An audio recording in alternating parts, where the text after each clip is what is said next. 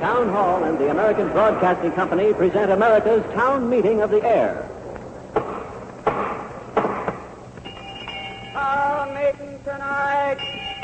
Town meeting tonight from Dallas, Texas. Should we accept the new fashions for women? Hair designers Fira Benenson of New York, Adrian of Hollywood, fashion editor Lois Long, and movie star Constance Bennett. Hear both sides on.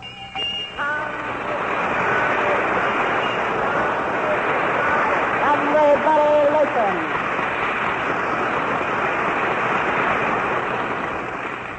The city of Dallas is proud to welcome the first origination in the state of Texas of the nation's most popular radio forum, America's Town Meeting of the Air.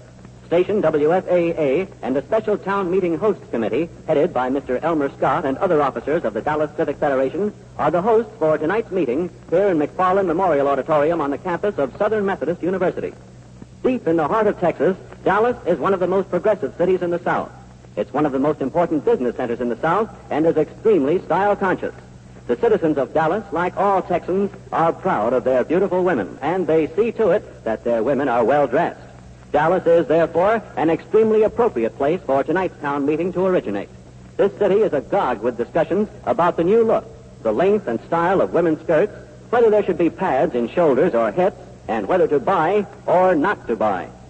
Here to preside over our discussion is our moderator, the president of Town Hall, New York, and founder of America's Town Meeting of the Air, Mr. George V. Denny, Jr. Mr. Denny.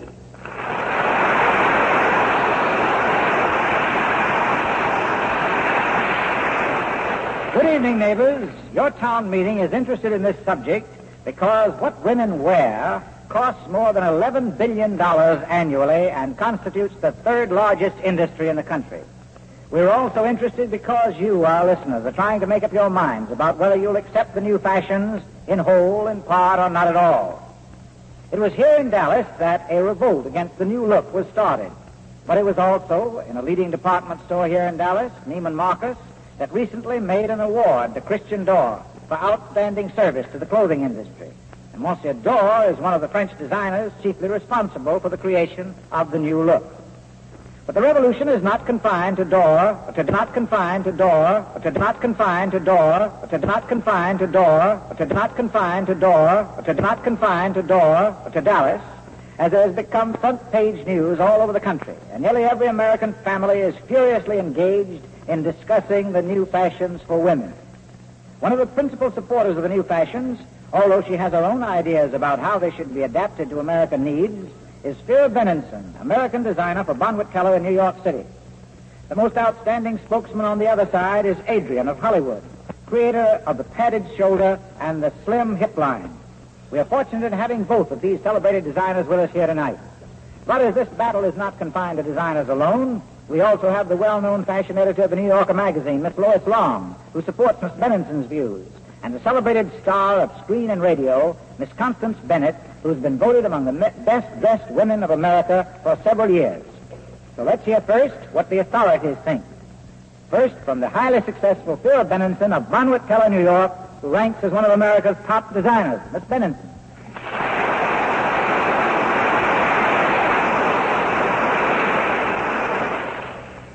Mr. Denny, I can't, you can't imagine how pleased I am that we are discussing the subject on America's Town Meeting of the Air. Because of this controversy over fashion, the greatest ambition of every woman is fulfilled. The men at last are interested and are noticing as never before what we women wear. To me, the question is purely academic. The new fashions are here, and they are here to stay until the time comes when they inevitably change again. It is only a question of time when every woman will accept the new trends.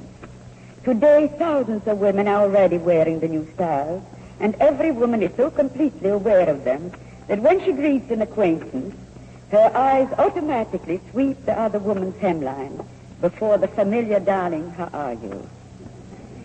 Dressmakers are absolutely buried under discarded shoulder pads and skirts to be made longer. I'm often asked, can the fashion be forced on women? Can the fashion magazines dictate what women will wear? Or is it maybe a conspiracy of designing merchants? Don't you for a minute believe it. When a new style catches on, as this one has, it is because the women themselves are ready for it.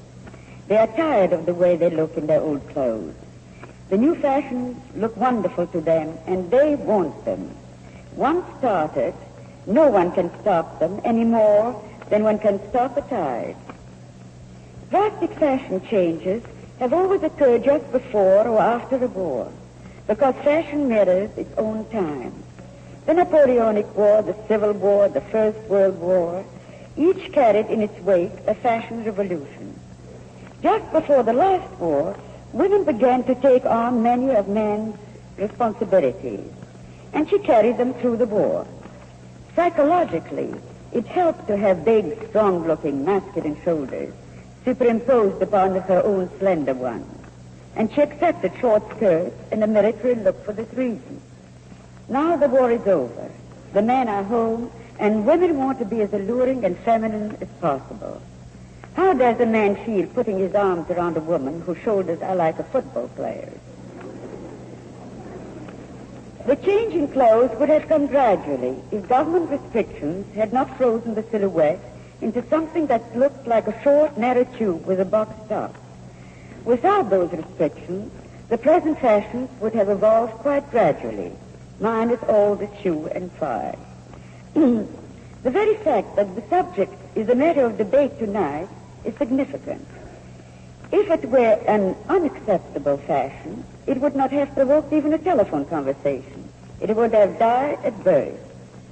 It is natural that a change in style needs a moment to find its footing.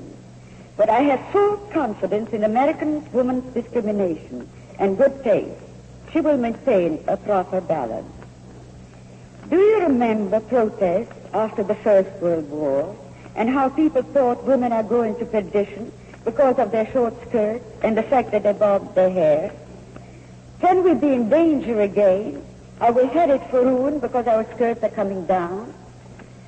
Critics of the new fashion say its influence is continental. What is wrong with that? Must we accept the short, narrow skirt and about the shoulder as the American national costume? If American fashions were not sensitive to influence, we might still be wearing the pilgrim's clothes. Since the days of the Crusaders, people have adopted ideas from other countries to enrich their homes, their literature, and their clothes. For example, California has influenced the sports clothes of Europe, and in turn, the South Seas has influenced California. There is no place for isolationism in fashion. Ideas and styles know no boundaries. Is it wise, in the light of economic conditions, to make these changes? Is it ever unwise to stimulate an industry, particularly the third largest industry in the country? Millions of people are employed by it, and they in turn feed the circulation of money and encourage prosperity. Of course, the new dresses are expensive, but not because they are new styles. Everything we buy has gone up in price, and clothing is no exception. But the increase in price is no greater in the clothing field than in any other. The new styles are a challenge to the American woman imagination and ingenuity to bring her clothes up to date, and that can be done without great expense. She can lengthen her hemline, pull in her waist, and resort to many tricks to look fashionable. To me, this is a beautiful fashion. It's exciting and romantic, and only those who like to live in the past would ever attempt to stop it.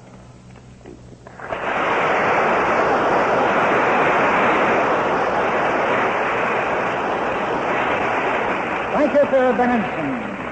Now let's hear the other side of the case from a man who's helped to set fashions for women both on and off the screen. Gilbert Adrian of Hollywood. Mr. Adrian.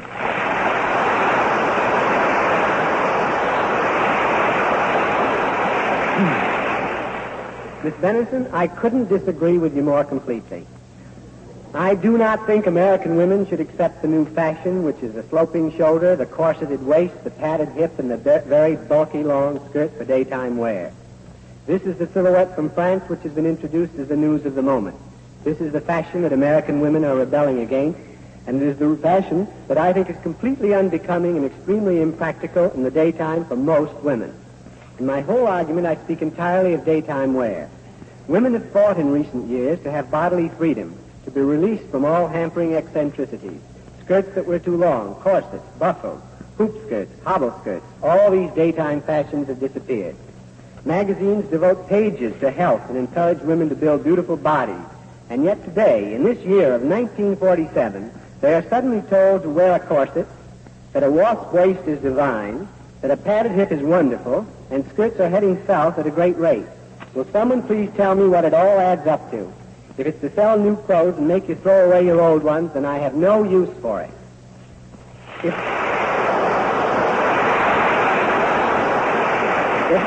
if, you, if you will analyze the present French look, you will quickly see that in order to attempt to regain their fashion prestige, They've had to take a completely opposite stand from the American look on every point.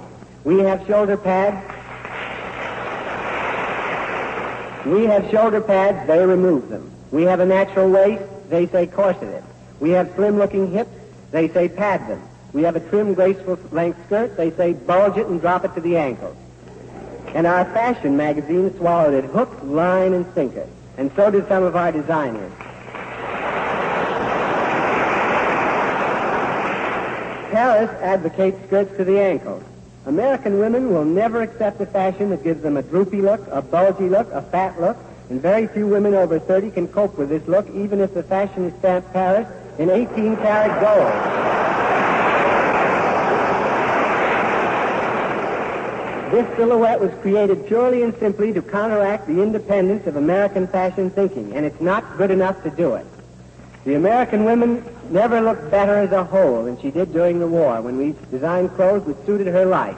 She had an uncluttered look. She was given stimulating new things. It seems a pity to me that we American designers, with no yardage limitation or restriction to cope with, should feel the need now of rushing to copy and adapt the first ridiculous brainwave that reaches our shores. Most most designers lengthened the skirts to a very graceful length immediately after L-85 war restrictions were lifted. I think that they never need be longer than they are at the moment. The middle of the calf is long enough and some can be a bit shorter. In the, in the evening, I think women can always go all out for whatever they like, whether it be buckles, crinolines, ankle-length, evening clothes, or trains. Let's take a bird's eye view, a very quick one, of the fashion impulse in this country since it began. When first people landed here, they were too busy building log cabins and finding food to worry very much about new fashions. As their towns grew and they gained more security, they also had more time to find out what their friends at home and in Europe were we- in England and Europe were wearing. France dictated most of the fashions then, and for many years continued to do so magnificently. As our country became a wealthy country, we continued to ask, what are they wearing abroad? Fashion magazines came into being and told us. It was not really until the motion picture was born and developed a long time that the hold of France on the fashion world was slightly torn loose. The motion picture did not do fashionable clothes. They were always at odds with fashion magazines. They could not give too much attention to what was being worn at the moment because their pictures came out many months later. And the heroine could not be dressed in something that would probably be out of fashion by the time it was seen a half year later. So fashions were designed just for the screen, and an American type was born who had no relation to the so-called chic mode. This American type reached the world. It even reached the fashion magazines, and in spite of them, as well as because of them, the American look was born. Now we'll jump to the last war. We were cut off from what had been a past fashion source, and were forced to show our hand. American designers came through magnificently. They did a wonderful job with every kind of fashion handicap. Difficulty in getting materials, restrictions, and everything else possible. The war ended. Off to Paris went the little boats, and on them went the editors of magazines, designers, and buyers to see what was to be seen. Back they all came with a discouraging picture of bulky clothes m- made, the French designers said, to anger the Germans.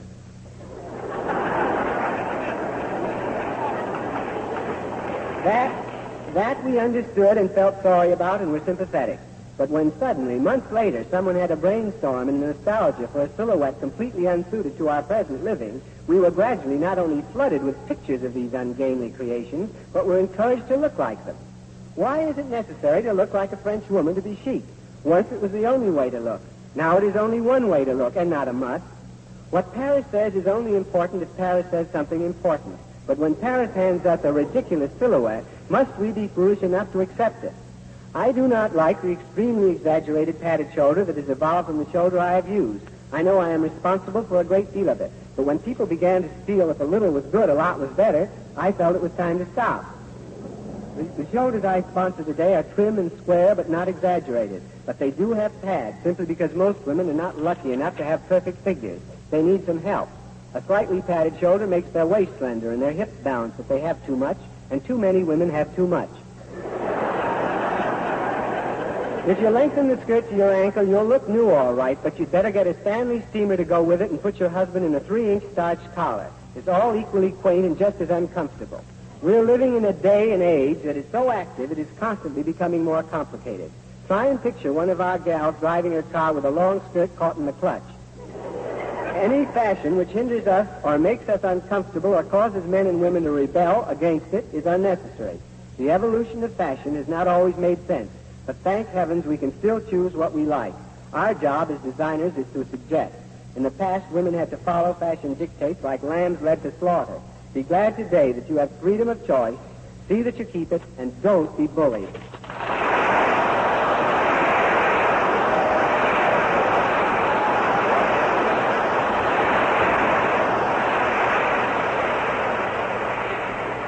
Thank you, Adrian. Now may we hear from the fashion editor, Lois Long, who reports the trends in fashions from a lady for the New Yorker, which is read coast to coast. Miss Lois Long.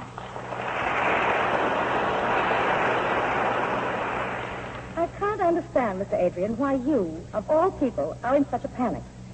You scream about a return to the Stanley steamer like one possessed. But like most of the critics of the changing fashion today, you apparently haven't seen the new fashion. You're so upset by the freakish stuff in the papers that you haven't had time to notice that American women are already wearing a smaller waistline, which makes the hips and bosom look more rounded without any corset or padding necessary whatsoever. They have skirts that swing out easily to mid-calf for daytime, and natural shoulders, padded a bit when padding is needed. Like everyone else, you've been so upset and irritated by the strange and wild exaggerations you haven't noticed their new line is already here. The extremes of fashion naturally attract most of the attention. It's also very natural that extremes should exist at this time. OPA had our women in an oblong box, as far as silhouette was concerned. Once these laws were relaxed, liberty became licensed, and everyone went haywire. Everybody knew that American women were restless and ready for a change. What they didn't know was which way the cats would jump. So they tried a bit of everything. Now, you've all seen college shop fashion stalking down the street. Low-heel shoes, full clumsy skirts flapping around the ankles. But since when has schoolgirls been fashion leaders? Then there's Paris, fighting to gain back her old prestige as fashion dictator of the world, which she was until the last war. Some of the atrocities she is showing in her efforts to recapture the American market indicate that she's in a greater panic than anybody. Formerly, our designers and manufacturers were content to adapt and modify the ideas of Paris. During the war, we developed creative talent of our own because we had to. More important, we developed confidence in ourselves and in our taste. Paris can't dictate to us now, Mr. Adrian, and I think she knows it. That's why she's acting so ugly occasionally. She must compete on even terms with us, which is the way it should be. As for your claim that fashion magazines are aiding and abetting Paris in their attempts to cram bad fashions down our throats, and some of the fashions are so bad I can't believe it myself. Fashion magazines aren't interested in whether a fashion is good or bad. They're interested in fashion news. And, as in other types of news, the eccentric gets the headlines. Now, there are violent shrieks that the new fashions won't do for American women because she's athletic. But women athletes don't wear Adrian suits on a tennis court. They don't put on a black crepe dress by Miss Benenson to go swimming. Active sports have their own requirements and their own rules for dress. So does the strictly tailored suit, which is one kind of a uniform that I think women will never relinquish. But in other fields, I can't understand the criticism that the new fashions are terrible for American women who work in offices or lead an active life. The new fashions are far less confining for this purpose than the ones we have had before. Easy skirts and easy shoulders mean easy movement for busy women. There's been much There has been much to do also about what Mr. Adrian calls the American look. By this he apparently means broad, padded shoulders with a narrow line down the hip. My experience is that most women, American or not, aren't built that way. If anyone insists on bringing nature into all this. To get a narrow hip look, most of the women I know had to compress themselves into a girdle which pushed a heavy roll up around the waistline. Very attractive. But Adrian here, who tried to compress hips in this fashion, is alarmed about a small pinching at the waist. Usually a little thing with no bones about it at all. I like it.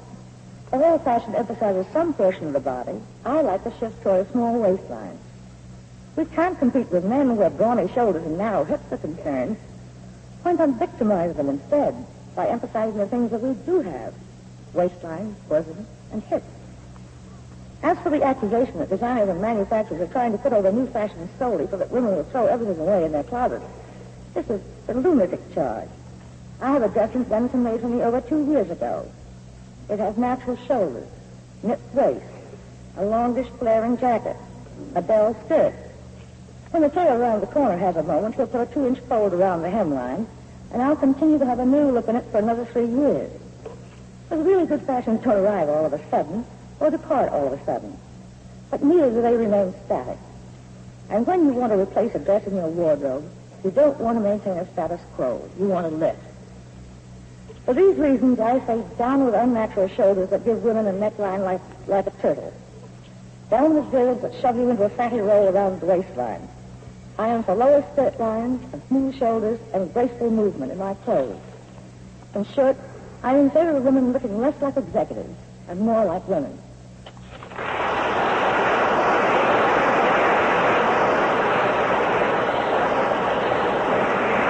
Thank Long. Glamorous Constance Bennett, star of screen and radio, has a flair for fashion, which has won for her the title of Best Dressed Woman many years. We're grateful to Allied Artists for allowing Miss Bennett to leave her picture, Smart Woman, which she's making in Hollywood, to fly to Dallas for this program. And now may we hear from Constance Bennett, who, needless to say, is wearing an Adrian gown.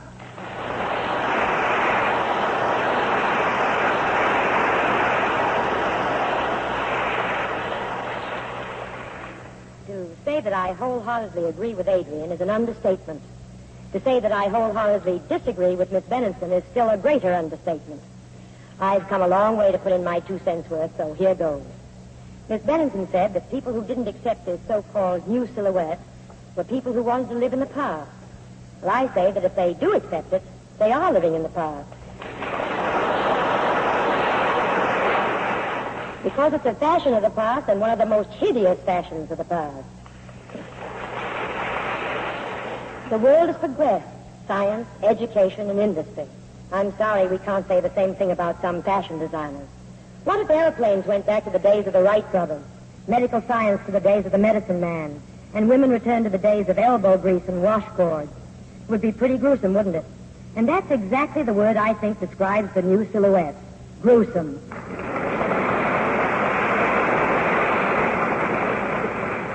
We've reached a sad state of affairs when designers don't use their creative ability and go ahead instead of reverting to the ugliest period of the past. I, for one, am not going to let a few headline-seeking designers, fashion magazines, and store windows intimidate me into wearing what they say is the latest style from Paris. Not on your life.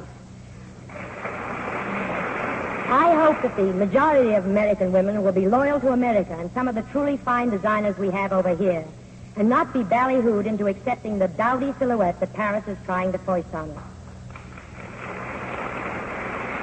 I think it's about time that some of our fashion recorders get on the bandwagon and play an American tune as loudly and as well as they play some of the French ones.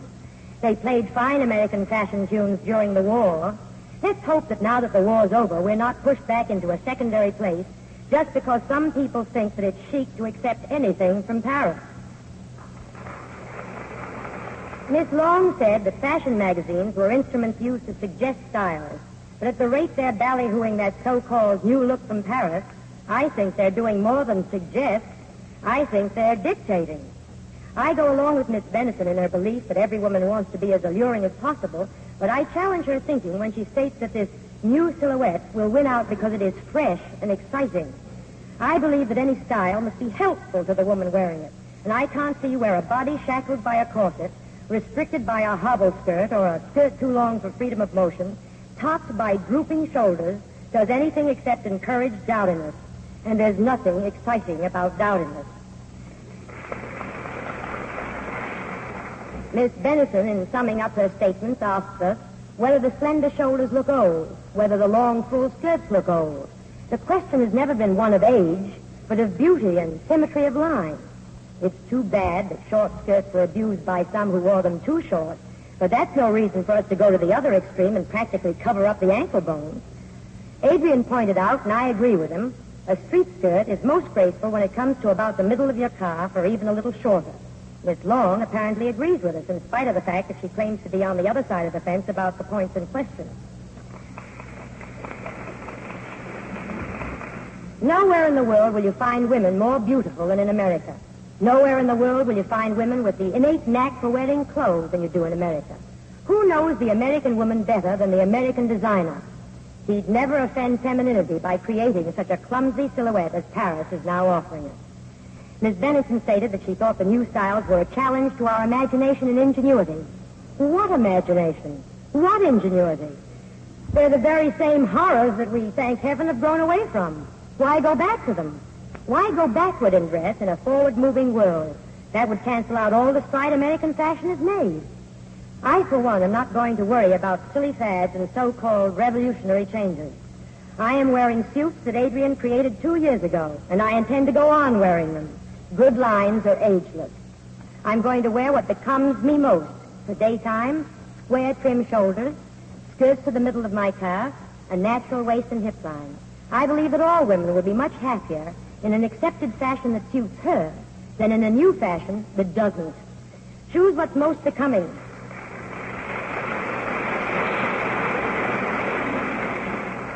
Choose what's most becoming to your face, your figure, and your life and you'll be well dressed and chic.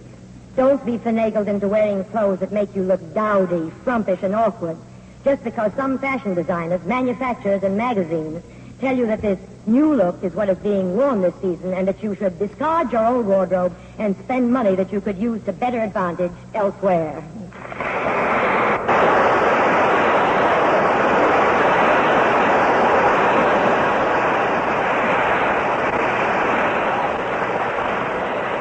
Thank you, Connie Bennett. Now will all three of you ladies and uh, Adrian join me up here around the microphone while we have our discussion.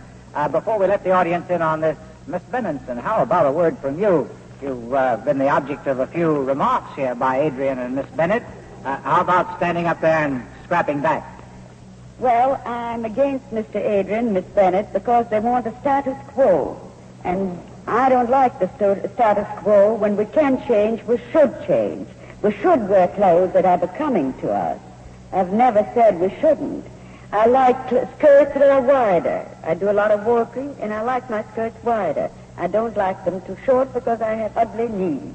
And I'm sure that many of you have the same thing. That's why I don't agree with Miss Bennett. And the same. Uh, uh, Miss, uh, Mr. Adrian, have you a comment at this time? No, but I'd like to direct something at Miss Long. What have I done now? she seems to be, she feels I've been tearing my hair about fashion because we, I haven't seen the new fashion. But I, uh, I know that she has because she's reviewed them in her column, and as, as uh, late as last week, I can't quite figure out which side of the fence she's on. And if Mr. Denny would give me one minute, not even a minute, a half minute, to read a quote from Miss Long, in last week's New Yorker, I'd like to see if she can tell me where she is in this picture. Miss Long, will you give him permission to quote? Certainly. All right. You have my This is- permission and Miss Long. This is from Miss Long's column. One minute you may encounter this season is the tight bodice with a widely flaring peplum, either padded or pleated over a skirt that is full from the waistband down. A concoction like this may be fine for skinny kids, but it makes women who have reached some degree of maturity look squat and matronly. Then she goes on. Good dressmaking means slimness over the hips. Well, that's what we're fighting for. And a jutting peplum requires narrowness below it. You will also, I fear, see some offerings with narrow shoulders, easy-fitting jacket, and a long circular skirt and intended for daytime wear, mind you. A mannequin who pranced out at one of the showings looked like a pyramid on the loose. Now, which side are you on, Miss Long? Miss Long, you better step up. Nobody who cares about fashion at all, and that goes for all of us, like wild extremes in any way. We're all agreed, I think, that mid-calf is a good length for daytime. Miss Ellingson and I are both in favor of that, as, but we like the fuller motion.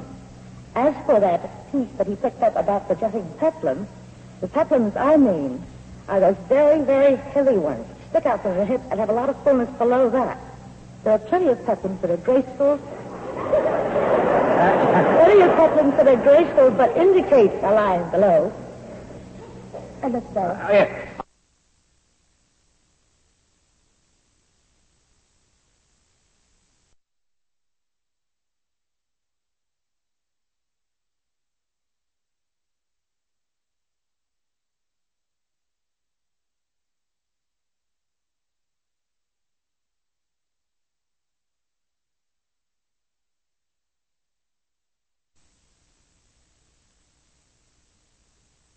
fashion is the very fashion that she spoke of as disliking. That thick, heavy peplum is the fashion that is trying to be foisted on us because I saw the Christian Dior collection and it is horrible. No, no.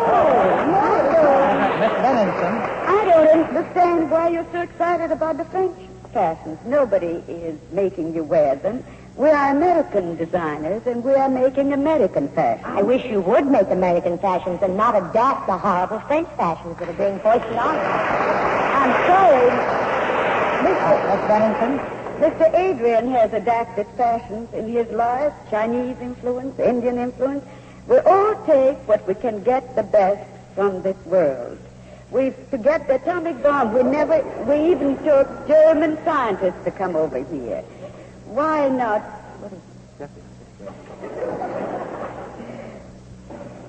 Why not take what there is best and what you like best in the world? The world is ours. It's the one world. we everybody preaches this to us.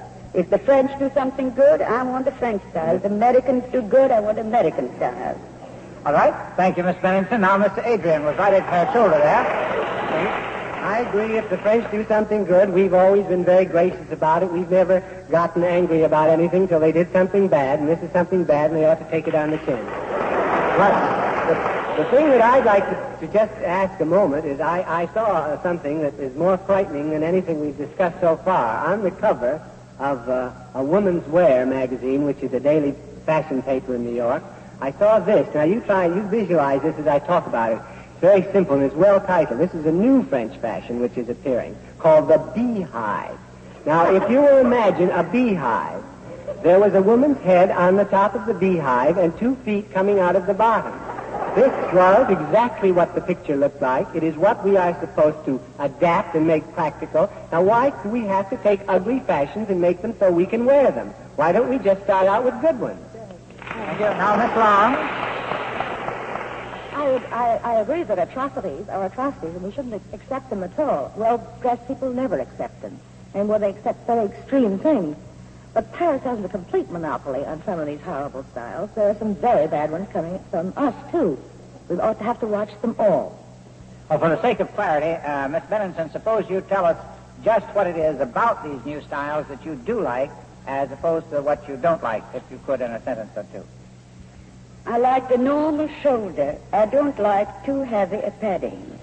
I like the wider skirt around 13 inches off the floor. I like the small waistline. Uh, thank you. Uh, all right, I was going to ask Mr. Adrian the same question. Uh, is there anything about the Paris styles that you like? Well, I haven't seen very much about in the Paris fashions that I've liked because the ones that have been shown in the magazines have been very, very ugly, and I think that is the reason that not only I have been rebellious about it, but so have 90% of the women, or we wouldn't be here tonight. All right, thank you. Now, some of these women are out here in the audience. They want to ask you questions, and while uh, our list, while we get ready for this period, I'm sure that our listeners will be interested in the following message. But first, let's pause for station identification. WJZ, New York, key station of the American Broadcasting Company.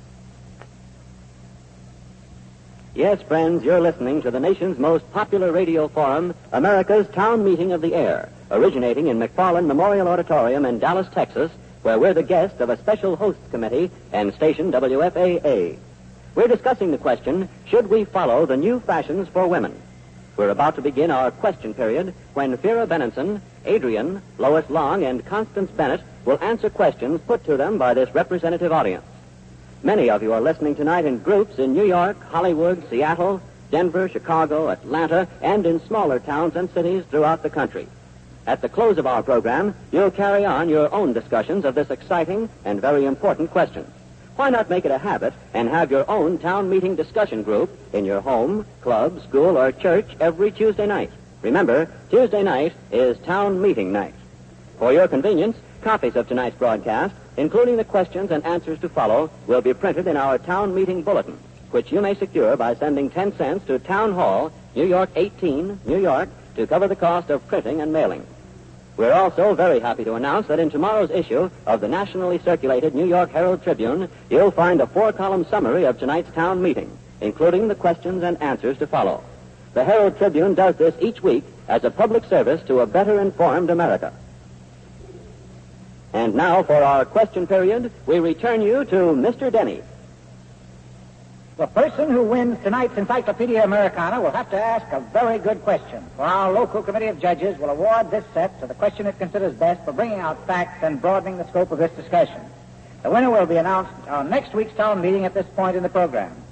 Last week, when we discussed high prices, our question the winning question was, as an industrialist, aren't you afraid that since high prices usually mean high profits, that lower prices will mean lower profits for you? That question was asked by G.G. Eisenhower of Albuquerque.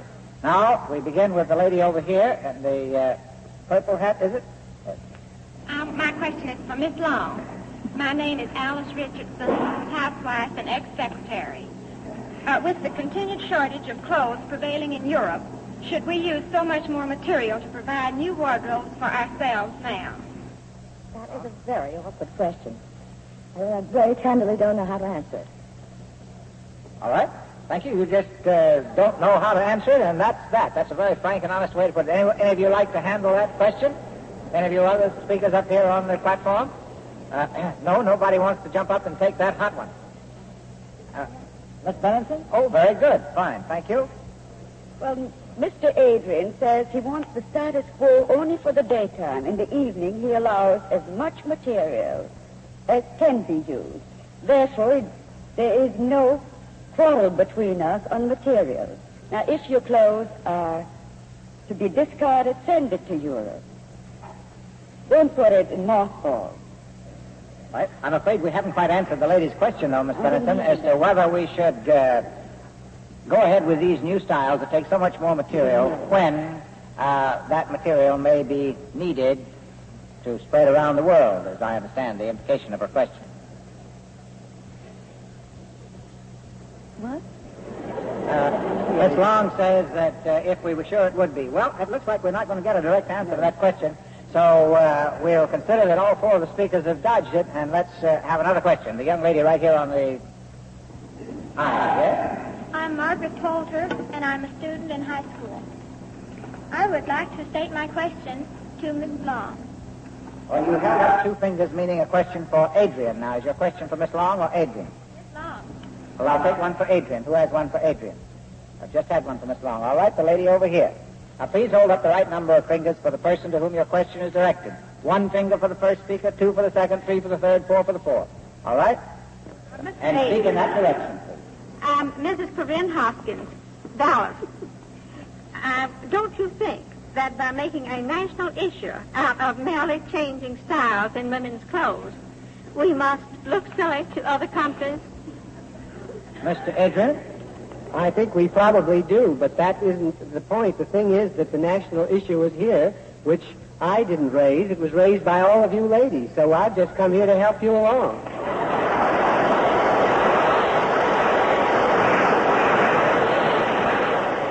Where's that man over there on the aisle that had a question?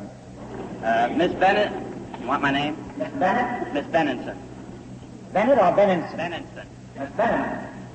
Miss Benenson, do you not feel that the change in fashion is the first overt expression of a change in social philosophy of the people of this country and of the world. A desire to return to a more normal, a more moral, a more socially acceptable, and a more conventional way of living that has made the, this country great and famous throughout the years. Sounds like a lawyer. I think so. Right? Uh, we're going to give that gentleman a chance to make it a little clearer. Uh, uh, he can probably uh, tell me that I've misunderstood it. If I understand his question, he thinks that the new styles are more moral, more uh, mature, uh, more American than uh, they have been before. Is that right?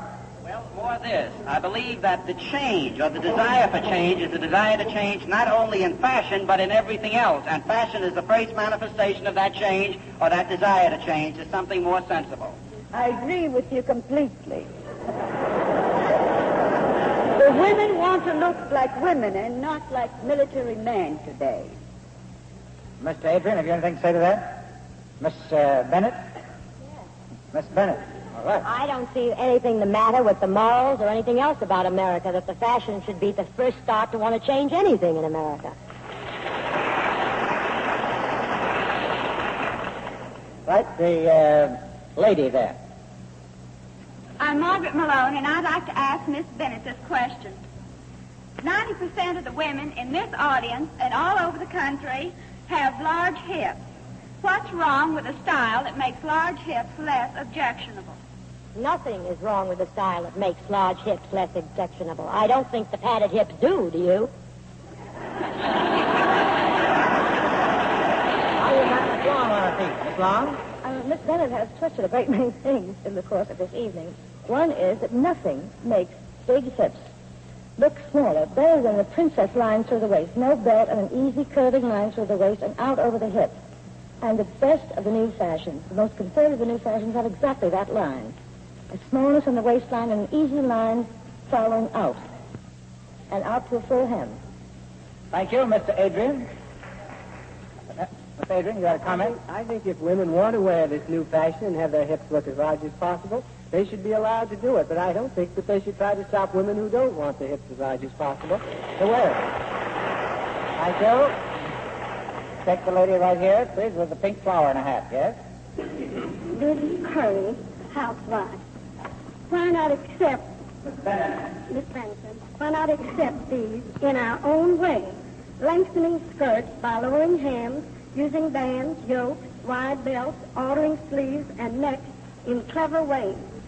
Well, I agree with you, and I advocate it all the time.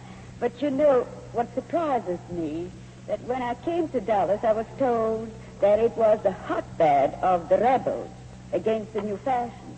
And I've seen more women in the streets of Dallas with longer skirts than I have even seen in New York.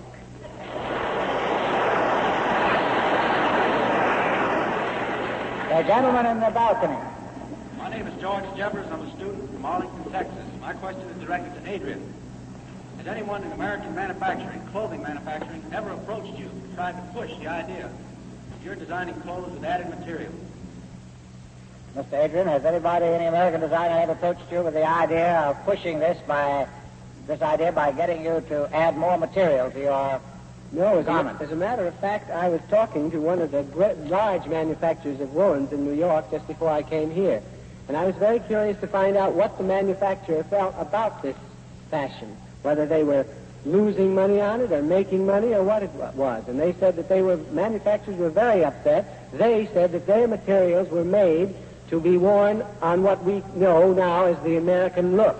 And that this new bulging look made their materials impossible to be worked with because it made things so thick they couldn't sell them. And they, they felt they'd have to redo their whole looms in order to cope with it. So I don't think that they want it.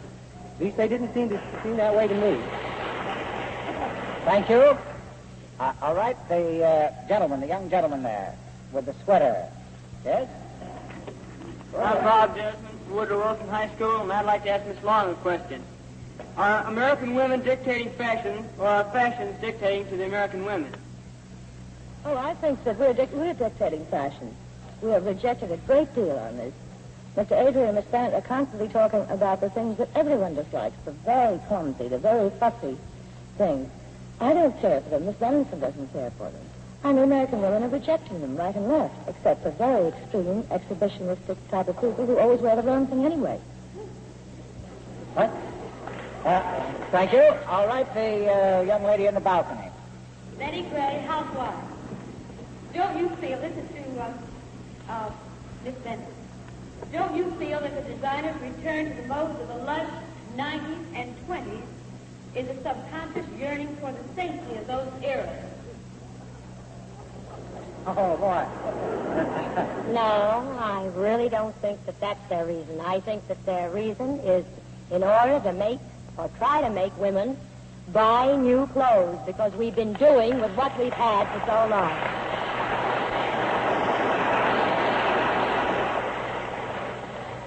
What? Uh, Mrs. Sparks of Ardmore, Oklahoma. My question is to uh, Miss Bennett or Mr. Adrian. Adrian, please. Now that there is so much controversy about the hem links, don't you think this is a logical time for the American women to adopt their own daytime after five and even evening links that are mostly coming to them? Well, I think we've said just about that. Yes, that's been covered. Please be careful to uh, ask new questions. All right, the lady on the aisle here. Yes? Go ahead, don't wait. Norma Ruth Harvey, and I'd like to ask Miss Benison, when three out of four American women dislike the new look, then who has the authority to say they are here to stay? If they will dislike them, they won't wear them. That's all I can tell you. Nobody can force American women to wear anything they don't want. And don't think that magazines or fashion editors or designers are forcing American women to wear the new clothes. American women are choosing them themselves. And only from what I see and notice, I can say that the new fashions are here. Thank you. Seems to be a difference of opinion on statistics as to how many people are wearing. The young lady who asked the question said three out of four women didn't want them, and Miss Benson says they are taking them. Mr. Adrian says they're not. Miss Long says they are. So uh, uh, you pays your money and you takes your choice. But let's go on here with a question uh, down on the aisle. I'm just a confused male. Mrs. Joyce, the mother of three girls and three boys. My question is, have, have the question is to Miss Miss Hawk. Well, there is no Miss Fox. Miss Long. Miss Long. Remember, we haven't television, you see. You have to tell them. Uh, Have any designers of today recognized the need of materials to clothe the children of Europe? If so, how have you promoted, or how have they promoted the idea? I'm afraid I got that very difficult one before. Of course, it's like almost everything else in a complicated economy. If we could be sure that extra materials would go to Europe, I am sure that nine women out of ten wouldn't hesitate for the second to live in sackcloth if necessary. But we can't be sure. We all we know is what we are being offered and what is apparently plentiful. Thank you. Now the lady on this aisle over here, in the black hat. My name is Nan Paul. I'm a housewife from Fort Worth. I would like to ask Miss Benenson uh, for her suggestions on how the woman who is fair, fat, and 40 can acquire the new looks. A little professional advice, gratis, uh, Miss Bennett. Well, put a belt on your clothes and pull in your waistline. Make your dress a little longer by letting out the hemline. Take out the bulky pads out of your shoulders. If you new, need pads, put very tiny ones in. And I think by that you'll acquire a new look. Thank you. A gentleman over here on the aisle. I'm David Carnahan, and I go to Highland Park, and I want to address my question to Mr. Adrian. Why should we consider his American look the acme of fashion revolution? Well, that sounds like a dirty dig. I, did, uh, I, but I didn't know you did. all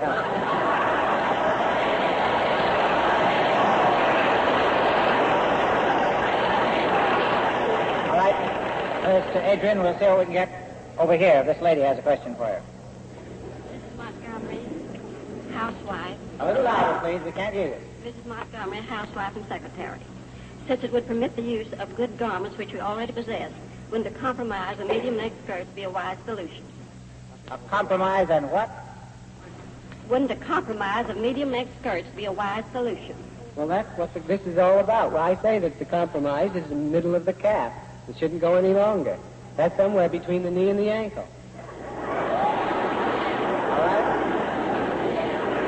The young lady here. And I'd like to address a question to Miss Long. Considering the present inflationary crisis and repeated appeals from national leaders to curtail buying, is it logical to induce women to buy a new wardrobe? I don't think that it's necessary to buy a new wardrobes. I, I would be terribly against that myself. But the fact still remains your clothes do wear out. When you need to replace them, why not get something that, that's new and sparkling and fun and uh, gay? I mean, clothes don't go out of fashion all of a sudden if they're good clothes. A good tailored suit is never out of fashion, I don't think. Thank you. I see my old friend Tim Healy down there in the audience. Tim, have you got a question for one of these speakers? I've got a very good question, Mr. Denny. What is Uh, Glenn? I'd like to ask Miss Benenson, um, why do the best-dressed women in the world, the American women, have to take fashion designs from any other country? Well, they don't take fashion. Today, the best dressed women, what you call, and I find that all the American women are very well dressed. They look much better than in any other country. They don't adapt and they don't take foreign fashion. They buy their clothes in America, and they have to choose from different designers. Those that believe in big pads and short, narrow skirts, and in, they buy from those that believe in a natural look. Right, thank you, Miss Benenson. Now, while our speakers prepare their summaries of tonight's question, here's a special message of interest to you. Many of you are listening to town meeting for the first time tonight, and we want to extend you a very special welcome and hope you'll join us in future town meetings on the wide variety of subjects we discuss during the course of a year. And many of you will ask the question, how is town meeting supported? Like all radio, it's supported directly or indirectly by advertising. A few months ago, America's Town Meeting of the Air switched to a plan of cooperative sponsorship, which enables it to be sponsored locally in all of the 225 cities where it's heard over the affiliated stations of the American Broadcasting Company. Next week and all during October, we'll be welcoming new sponsors to the Town Hall family. Local sponsors who believe firmly in the town meeting way of dealing with controversial questions. While pressure groups seek to divide and weaken America, your town meeting asks to attain unity through understanding by presenting both sides in honest discussion in the highest American tradition. And now for the summaries of tonight's discussion, here is Mr. Denny. And now let's hear a final summary from Adrian. I don't think we will have any drastic changes in women's daytime fashions for years. There are plenty of exciting new things to do in fashion without pulling out the old 1922 bromide. The old-fashioned theory of dropping skirts to the ground one season and raising them to the knee the next is as dated as a horse and buggy. Today, women are too busy. There are too many working women and too many housewives to be bothered with hindering fashions. Women want to look new and stimulating, but they do not want to look eccentric or dowdy. We have in this country some of the best designers in the world. France, if she had them, would be proud of them. I beg these American designers to use their good creativeness and make our own fashions for American women today, and to be proud of their own ideas. Thank you, Adrian. Now, Miss Mr. Benenson, a final word from you, please. I believe, Mr. Adrian, that your fight is much more against the magazines and the Paris influence than against the new fashions of today. Fashions are never static. If they are, they are no longer fashions. This is 1947 and not 1946, and nothing ages a woman more than the fashions of yesterday. I believe that the clothes of today have charm, grace, and femininity. And don't for a minute believe that anybody can bully the American woman, not even her husband. She's intelligent enough to choose for herself what she wants to wear. And I do hope, Mr. Adrian, that before long you will agree with us and you will start designing your magnificent clothes for the women of today. You, Mr. Benenson, Adrian, Lois Long, and Constance Bennett. Our thanks also to Station WFAA and our town meeting host committee. Now, friends, you've heard both sides of this fashion question. What do you, the American people, think? I'm sure that our speakers and the industry will be glad to have your opinion. And if you'll sit down and write us and tell us just what you think, we'll see that our speakers and the other fashion authorities get this information directly. Remember, our address is Town Hall, New York, 18 New York.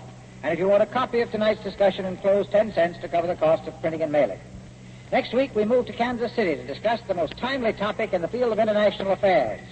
On what basis can our differences with Russia be resolved? Our speakers will be A. A. Berle, Jr., former Assistant Secretary of State, and Senator Glenn H. Taylor, Democrat of Idaho. As special interrogators, we'll hear from Clarence Decker, President of the University of Kansas City, and Homer Rainey, President of Stephens College, Columbia, Missouri. So plan to be with us next week and every week at the sound of the crier's bell. Next week, everybody listen.